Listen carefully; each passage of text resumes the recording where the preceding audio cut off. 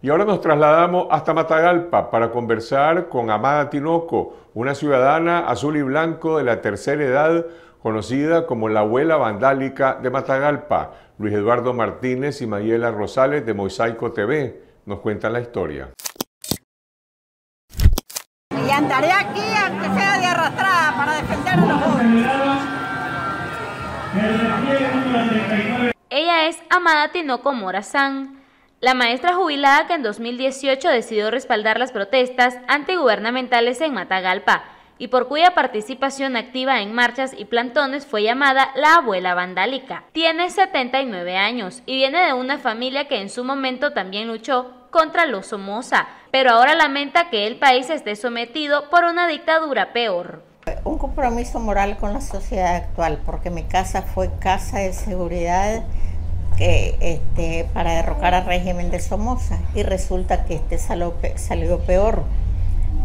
Asesinos, delincuentes, ladrones, lumpen en resumen.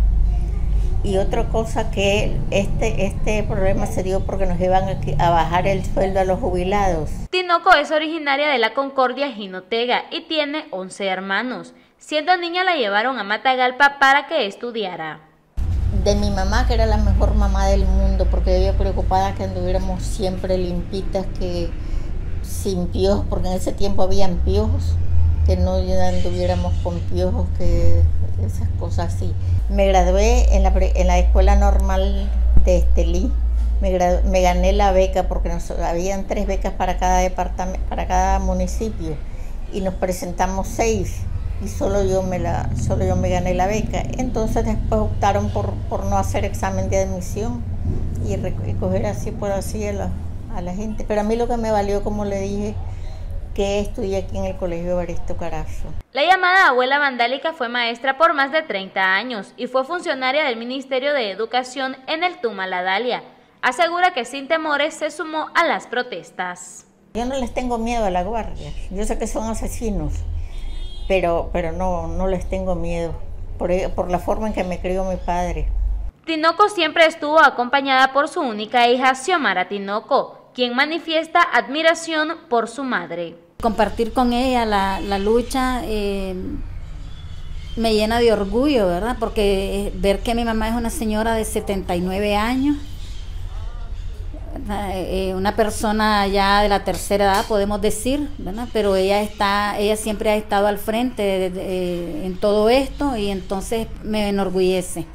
Otras mujeres opositoras destacan la firmeza y valentía de la llamada abuela vandálica. Incluso una foto de Tinoco alzando la bandera nacional es usada como símbolo de una organización de mujeres autoconvocadas. Aprendí a conocer a la abuelita y también ha sido una persona que a muchos jóvenes, a muchas mujeres nos ha llenado de inspiración.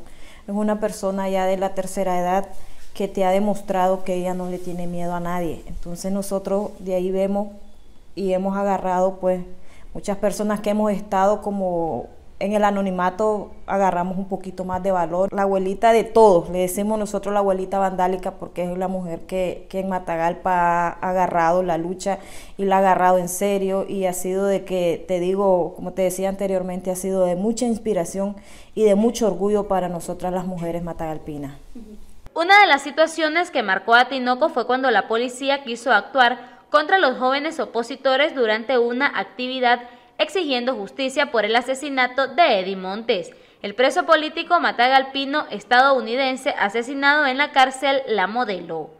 Guardias, los de, que andan de negro, se querían quebrarle la mano a un muchacho de su carro porque el, padre tenía enllavado el portón. Entonces yo me enganché en el muchacho, en el cuello del muchacho, y yo dije, los, los hombros no lo van a dejar que, que eso salga. Le quitaba, la, le quitaba los tres dedos al policía y, entonces lo agarraba con la otra.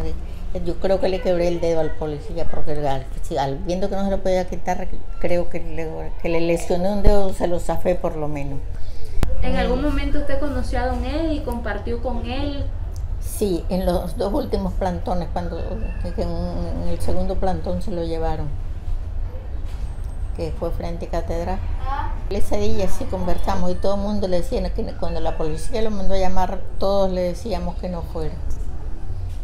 que no fuera. Aunque su salud ha deteriorado, Tinoco sostiene que su lucha sigue firme para que este año haya mejores condiciones para unas elecciones transparentes, pero que sean liberados todos los presos políticos. Lo principal que tienen que, que por lo principal que lo primero que tenemos que, que, que actuar es por la libertad de los secuestrados políticos. No son presos políticos, son secuestrados políticos.